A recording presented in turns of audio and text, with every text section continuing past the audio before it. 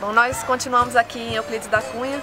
Hoje pela manhã tivemos oficina de desmontar o espetáculo e à tarde nós fomos para Monte Santo, conhecer Monte Santo. Fizemos a trilha até lá em cima a última capela.